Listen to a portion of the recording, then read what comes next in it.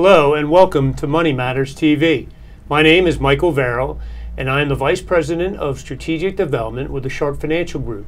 We provide a system of integrated financial management to help entrepreneurs maximize business value, increase cash flow, reduce tax liability, and plan the transition for the most valuable asset for, for long term family wealth and future legacy. Thank you for joining us for our continuing discussion on growth stories where we hear from entrepreneurs and advisors who share secrets and advice on what business owners need to know to grow. From time to time, issues involving health sciences, life sciences, technology companies may be discussed on this show. Those discussions are not and should not be viewed as financial advice. Moreover, since the program is pre recorded and shown at a later date, some of the discussion may no longer be relevant. You should always check with your financial advisor before entering into any financial transaction. I'm joined by my co host, Ria Beares, Vice President with CBRE, a global real estate consulting firm. Ms. Beares has spent the last 15 years focusing on research and consulting for corporate occupiers of space. She heads up the technology and media practice, where she focuses on high growth technology companies to help develop real estate strategies to support their business objectives. She also serves on the program development and outreach committees for TechGirlz, an organization that helps expose middle school age girls to careers in technology. Hello, Ria. It's great to see you. Hi, Mike. Thanks for having me. Happy to be here. Great. Um, can you give me an update on some of the things you've been working on since we last met? Sure. I just came back from a conference in New York. It's our CBRE Technology and Media Conference. Um, we were there with a lot of CEOs of tech companies as well as venture capital um, backers, and just we're talking to them about changing workplace. Um, the other thing is WeWork came in and spoke with us about their new enterprise solutions. Um, and then just generally speaking about uh, commercial real estate disruptors, the most interesting of which is the autonomous or driverless cars and how that's going to impact the real estate. Great. So that was the one thing that really stuck out and surprised you. What what is what are some of the things they're saying on how that might impact? Yeah, it's going to be pretty interesting. First, it's coming a lot quicker than we think. Um, it'll be happening in the next couple of years. Okay. Um, that was first and foremost. And then um, it's really just going to change liability um, from really us as drivers and shift it onto the automakers. So that's going to be an interesting shift that will disrupt not only commercial real estate but the insurance industry as yeah, well. Yeah, interesting. Yeah. Well, I guess we'll wait and see how that yeah, plays out. That's right. Um, before we introduce our guests, we mm-hmm. have a question from one of our viewers. Okay. Uh, Nancy Marks from Philadelphia would like to know: Is there a downturn coming in the Philadelphia real estate market? Can we expect one?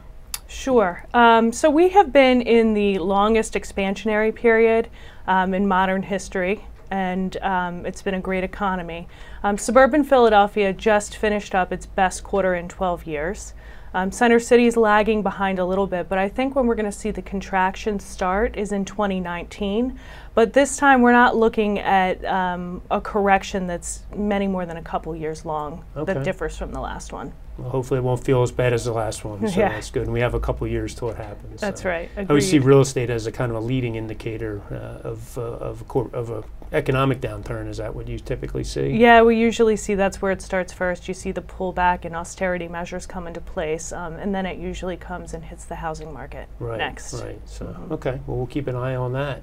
Great. It's always great to hear from our viewers. Uh, to send uh, information for a future show, here's how to send your questions to Money Matters TV. You can have your questions answered on Money Matters. Please go to our website, money-matterstv.com. On our homepage, click on the banner on the right that says Send us your questions.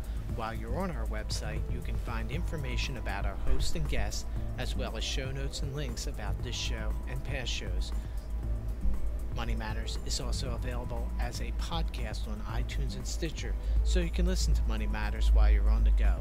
That website address again is money, M O N E Y, dash matters, M A T T E R S, TV.com.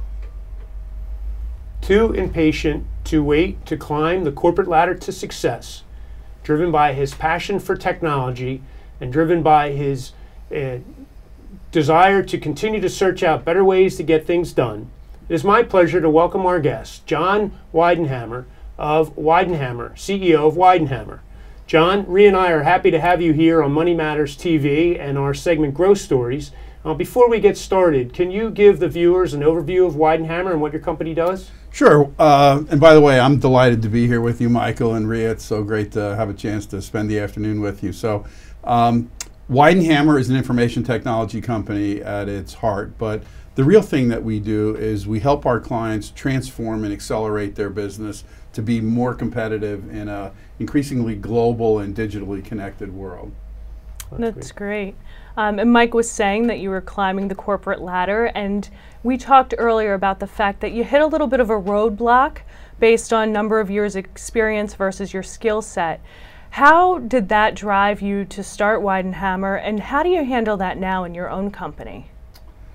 Well, I think the story you're referring to is when I first got out of college. I, you know, of course, was a 20-something and working for a steel company, and we had built some really amazing production management mm-hmm. technology that got deployed, and it was really one of the first online real-time uh, systems in the steel industry to manage production in the plant. And uh, the system was so successful that my boss ultimately got promoted to be the uh, assistant to the vi- vice president of manufacturing of this uh, manufacturing company. And for a long time, the manager of the IT department position was open. Mm-hmm. And uh, one day I was meeting with uh, the CFO of the company who kind of was filling in, and uh, uh, I said, you know, we really need a manager for this department. And he said, you're absolutely right. And I said, I think it ought to be me. and he said, you're right about that too. Uh, so I said, great. Was so when do we start? And he said, you know, John, I've run this up the flagpole with management and HR, and just somebody at your age would be by far the youngest person to be on the management payroll, and they're just not going to do it. And he said, I've been dreading having this conversation with you, but it's not going to happen. So really, within you know just a few days, uh, one of my peers got promoted to be the manager of the of the department, and uh, you know I was disappointed and started looking around the company and realized that kind of anybody who was anybody had been there 20 years, and I just didn't want to wait that long to have mm-hmm. my chance to you know move into management and have a more senior uh, p- position, and uh, so. Uh, remarkably, I guess, or serendipity maybe, is uh, I played uh, basketball in a city basketball league with a colleague of mine who had been on the project team building this system mm-hmm. I, I talked about. And uh, he and I actually had gone to graduate school together. We commuted back and forth to, uh, to Lehigh. And uh, we were taking our shoes off uh, one day after a game, and he says he had left to go to work for uh, a company that was then called Ernst & Ernst, now Ernst & Young and he asked me if I'd be interested in uh, a position on their consulting team, and I told him that I would be. And in a short period of time, uh, I got a call from the manager of the practice, and you know, I guess the rest, as they say, is history. I took mm-hmm. the job and you know left. Uh, Carpenter, uh, which is where I had worked after college, to uh, to go to Ernst and Young. It's interesting because I think uh, millennials today get accused of you know being too uh, interested in moving to the next level, but maybe it's just go-getters, right? That's kind of happened at every. Do you experience that with millennials, or how do you deal with that in the yeah yeah we, we we do. I think that. Um, and this is painting with way of a broad brush. Sure. So for, for those out there, yeah, for, those millennials who are just stuck in a box. For, Our apologies. forgive me, but um, I, I do think that young people have a greater sense of their need to explore many opportunities in a career than perhaps you know my uh, generation or even my parents you know generation. I, my father uh, worked for the same company, uh, uh, Dana Corporation, for literally his whole his whole uh, career. Mm-hmm. And I think today a lot of younger people come to the job with the expectation that the job is really about enabling them to live rather than the job is kind of you know ev- everything. And you know I think uh, today's workforce is a little bit more uh, focused on life balance and um, you know things that happen to them outside of work. You know, I often tell my team when I when I worked for Ernst and Young, if my boss said, you know, hey, you're going to be working on a project in California for the next six months, I wouldn't have questioned it. I would say, well, you know, where's the airline ticket? You know, when when do we start? Mm-hmm. You know, today if you did that, people would say, you're killing me. You know, I'm involved in the PTA. I'm coaching my kids' right. team. You know, I'm doing this. I'm doing that. Right. It would really be a hardship for me to do that. In fact, when uh, and, and when I I know you want to talk about this, but when Weidenhammer first got started, because of my background working for an international consulting firm, early on our practice really was about it was you know kind of global in, in scope because of what I knew and how I had worked. And as we went through uh, time, it became increasingly difficult to get our team to want to work long term on assignments that were we'll call it away away from home. And despite the fact that we tried increasing salaries, giving people battle pay, you know, really making it financially worthwhile, a lot of folks would come and say, you know, John, it's not about the money. Right. It's a, Yeah. it's a lifestyle Right. issue. You know, it's just it's just a problem for me when I'm away from home all the time, and I I experience that. I mean, it's difficult when you're a road squad consultant, as I was with uh, Ernst Young. That uh, you know, you leave on uh, Monday or Sunday night, you get back on uh, Friday night or Saturday morning, and you know, of course, your family has all these things that they want you to do, and you've been out to dinner every night. All you want to do is kind of sit in a chair and you know, Right. drink drink a beer, but you gotta you know get your hair cut, go see your parents, see your in-laws, you know, uh, cut the grass, and you know do all that all that Right. all Right. that kind of thing, and you know, it's, it it really creates, I think, uh, stress really in your uh, in your life. So at Weidenhammer, how did you compete with uh, some of the? I'm assuming you were competing with some of the Ernst and Youngs and things. We when you were. that. And We so were. How do you compete? Because they can.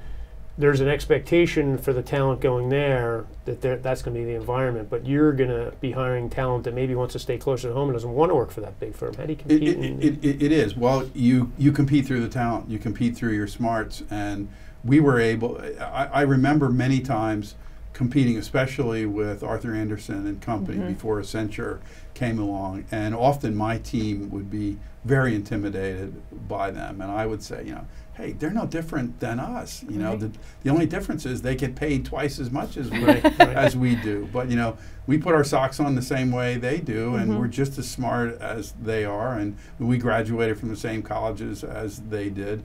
And in, and in many cases, we're a lot more agile, we're more efficient, and we can do a better job. And I, I can't. It, this didn't happen every time, but I can't tell you the number of times when we would work side by side with one of the at the time they were called the big eight public accounting firms and even IBM and others. Uh, and um, you know our clients invariably would come around to recognizing that we represented a, a better value. I mean, you know, I, I, I, I can remember times when we either weren't hired or we were excused because a client just wasn't comfortable taking a risk on a small firm like Weidenhammer. I can remember a couple circumstances where they, I mean they almost came to us apologetically and said, you know, our senior management just thinks we need a big name. Right. You know, it's the old story, you know, that we used to say, you know, years ago, nobody ever got fired for hi- hiring IBM or buying, you know, IBM right. equipment. And I think the same thing was true of, you know, there, there's almost a presumption that um, the uh, the bigger firms have smarter people. In fact, I, I know when I was working in the consulting business, the, uh, we used to have the phrase, the guy from more than 50 miles away from home is always smarter than the guys from right here. Right in the backyard. So part of our, uh, uh, uh, I won't say a trick, but a thing that we used to do was we would have somebody from halfway across the, the country fly in, and I was Right. often that guy. Right, And right. they'd say, "Here's our expert." Right. Right. And the only thing I knew was what they had briefed me on on the way from the way from the airport. Uh, and if your but plane ticket costs more. yeah, Right. exactly, exactly. But you know, there is, you know, we have that mental link that, you know, uh, it's like in healthcare. You know, you assume that the doctors who uh, work in Center City are smarter and more capable than the doctors that, you know, are out in the in the suburbs. You know, why is that? We don't know. We think that the people from the power centers or from the big uh, companies are just inherently smarter. You know, is it is it the case? We found in, in the case of you know Weidenhammer as a startup that we could do the work, we could provide the the solutions and be very competitive, especially be competitive on uh, on on price. And, and I know a lot of times it wasn't just about about price. So you obviously have to be a little bit scrappy and, and willing to take some risks uh, to go up against the big guys starting a company like that. Um, what can you give us a little bit of insight into your background? Where did you grow up? What was your family life like? Or the things that you learned early on that gave you that confidence and sense of yourself that made you able to be able to do that?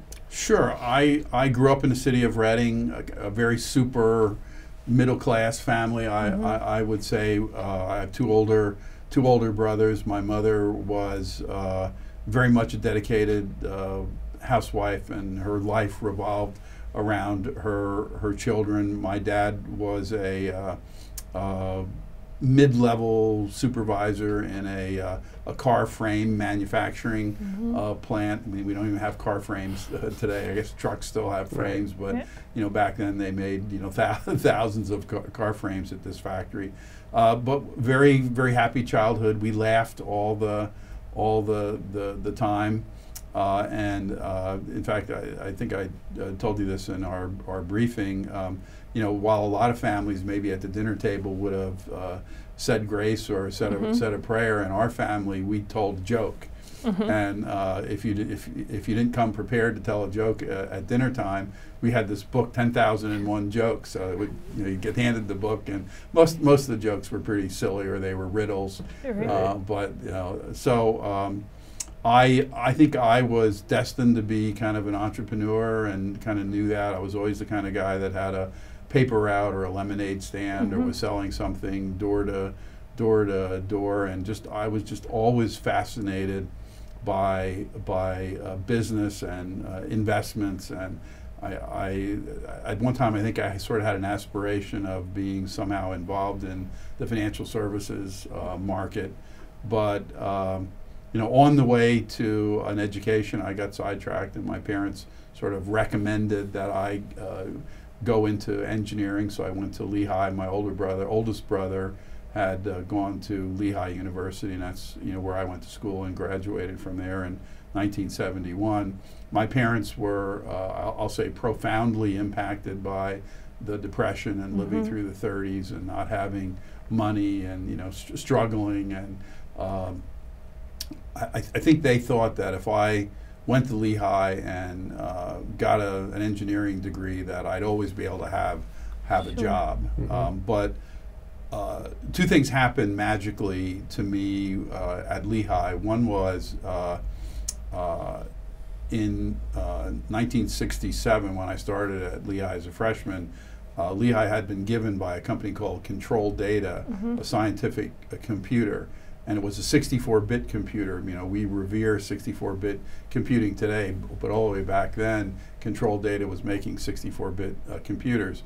And uh, at Lehigh, they taught all the freshmen programming in Fortran and systems analysis and design, such as the state of the art was at that time, which was remarkable in and of itself. But then they wove computing as a problem solving tool through the curriculum. So every Mhm. year we applied the use of the computer to solve problems.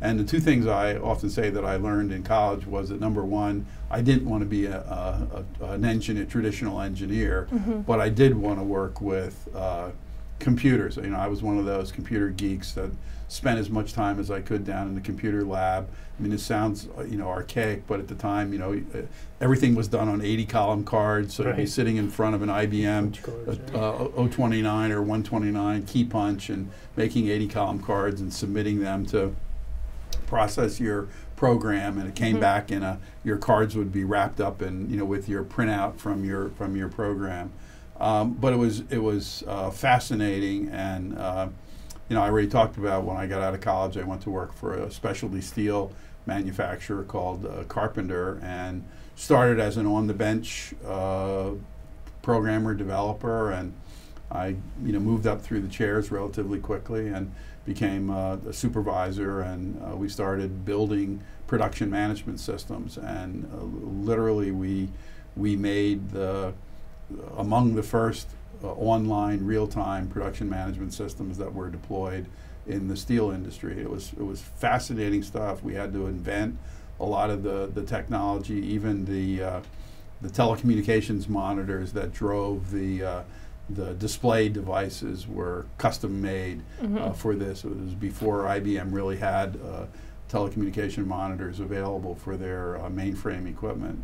So, um, so it was, it was fascinating. But uh, as I said, you know, even in you know, I was always fascinated by by business, and in college, uh, I, I had to say that you know I, I was m- many times more interested in reading the Wall Street Journal or Business Week or Uh-huh. Fortune magazine than I was in uh, going to going to class. Of quite Right, quite right. quite frankly, uh, and and on and, and I couldn't, you know, as we got closer to graduation, I really couldn't wait to be finished with uh, college and, and get to work. And I can remember when I first started uh, working at Carpenter, I used to tell my my friends that I loved my job so much that I couldn't wait for the weekend to be over to go back to work.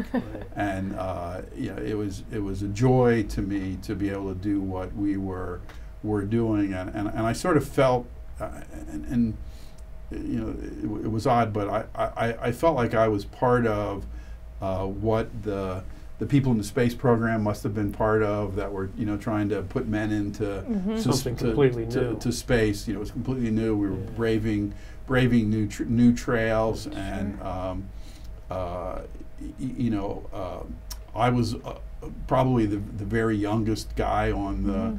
on the on the team, which was kind of interesting too. Interesting dynamic in the sense that um, a lot of the people that I worked with didn't hadn't gone to college. You know, they Oh, maybe came they maybe came up in the steel Right. business and got an opportunity to Sure. bid on a job in Mhm. in the IT department and moved into that and sort of Mm. learned Right. learned uh, software development. Well, there probably wasn't a lot of college graduates coming out with that kind of. Well, well, there, there, there, there, there weren't, and of course, uh, in the in industry in general, I, I think at that time there was a tendency to want to promote from within to sort of Sure. grow, grow, grow your own.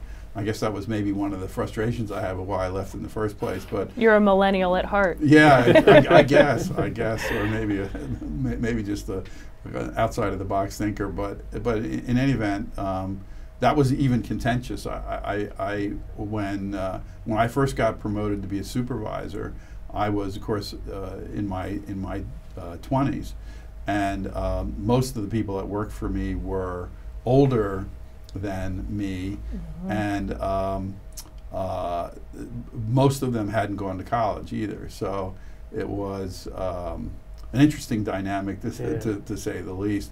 We also had uh, on this team a couple of uh, Vietnam vets, and uh, I got to see firsthand some of the impact that the, the war um, had on those those folks and their uh, unfortunate side effects. Right. Actually, Mhm.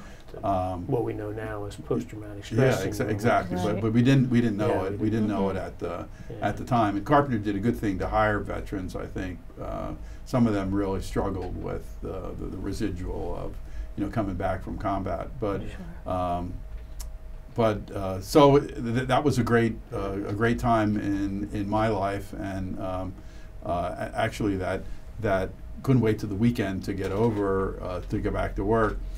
It transitioned, you know, as we got closer to the deployment of this system, that we literally were working almost 24 hours a day, 7 seven there days. were a no week. Yeah. weekends. There, there Right. weren't any weekends uh, because we, you know, we were up against deadlines to deploy the system. We were working hard to, you know, get the last uh, bugs out of the uh, of the, the system. You know, also uh, back in sort of the olden days of of computing, you had to do your testing sort of at night. Uh, and on the weekends when the Mhm. production work wasn't happening, Right, so right. we'd be coding all day, and then we could get the systems from usually about uh, 1 a.m. in the morning until Sure. 6 a.m. in, in the morning. Take that downtime. and we, so we would take that downtime to test our Yeah. to test our programs. I can still remember. vivid- In fact, I had a flashback uh, last night. I was out to dinner with my grandchildren, and the song uh, "American Pie," Mhm. uh, you know, "Bye Bye Miss yeah, yeah, Pie." sure. I know True. not the name- Levy, right? yeah, ex- no, no, no. That, that's not the song I'm talking about. Or, or is it? Um, it's the Don McLean Yeah, that's song. Okay, that's right. it. Yeah. Uh, the day the music died Yeah, Yes. is, the is the name is the name of the song, and that song was on the radio playing constantly. Uh-huh. And the so- top so- ten or whatever. Yeah, like so every- so when I hear that when I hear that song, I think of being in, being in that computer room in the basement of that of that Right, building right. rather than you know the the passing of three three musicians. Well, you must have looked back on that time, though. I mean, that's the kind of energy and passion you need to start your own business, right? I mean, if you were anxious to look for the weekends and the downtime, then you're an employee. If you're not, you're working and you're passionate. That that's, That's right. engineer. That's entrepreneurial Yeah. energy. It- I mean, you must have taken that into into the business when you started it. I, I, I did. I, you know, I think that um, I kind of always knew that being an entrepreneur was in my future. Or, or I, I, I don't think I thought it. I didn't use that term, but you know, I, I, I wanted to be uh, an executive and a founder of of a small business. And uh, I mean, even uh, I, I, I uh, when when I uh, worked for uh, Ernst and Young, e- even though I was pretty much a, a technology consultant. I mean, that was largely what I did in the, the four years I was there. I uh, engineered my way to get involved in the merger and acquisition team there, uh, and you know, uh, doing uh, analysis on the buying and selling of uh, of businesses, uh, but also uh, I got involved in the process of uh, in auditing a bank. One of the things that uh, happens is you uh, review the adequacy of the loan loss reserve. So having an opportunity to uh, be part of that process, I got to see the inside of how uh, the financials of companies worked. You know, particularly Yeah. troubled troubled companies, and I found I, f- I really found that absolutely fascinating uh, in terms of helping me understand. You know what steps uh, companies had taken that got Right. them into Tremendous business in- lesson. I mean, in, in, in, Right. into trouble. Maintaining um, cash and, and it- things that companies don't do well that allows them to fall. Exactly, and, and taking on uh, inordinate amounts of, uh, of, of risk. Mhm. In fact, you know that, that, that may actually have uh, been a lesson to me that Yeah. you know uh, that that maybe stunted the growth of Weidenhammer over the years. Is Yeah. that I've been more, we've been more risk averse perhaps than uh, than we should be. But uh, you know, in February, Weidenhammer will celebrate 40 years in in uh, in business, and you know, as you might imagine, there aren't many uh, technology companies that really uh, achieve that. Sure. that- Not many that- companies. that It's a very milestone. small No, percentage that's of right. companies reach that kind of milestone. That's It, fantastic. it, it, it, it, it, there are a few that that uh, achieve that milestone, and uh, you know, I'm hoping that I can position what we've built, you know, together, so that there's another 40, 40 years. In fact, I.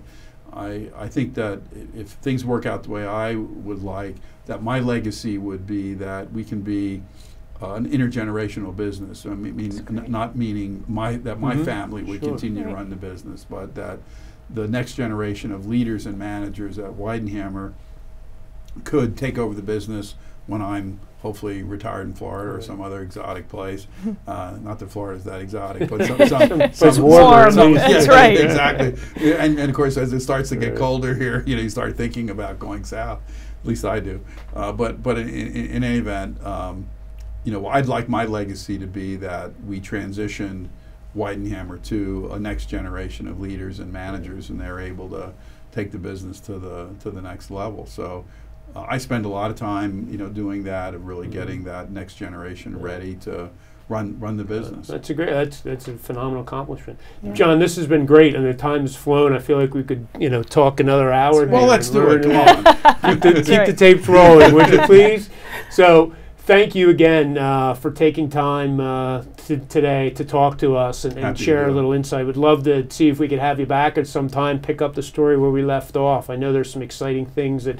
Um, where technology is going and some of the things on the horizon. We'd love to get your insight in on at, at some point. So, um, uh, the next guest for the Money Matters TV program will be uh, Roy Anella of Wealth Advocate uh, Investment Group. As a reminder, you can download the podcast from iTunes and Stitcher and watch our videos on YouTube. Thank you for joining us for Growth Stories.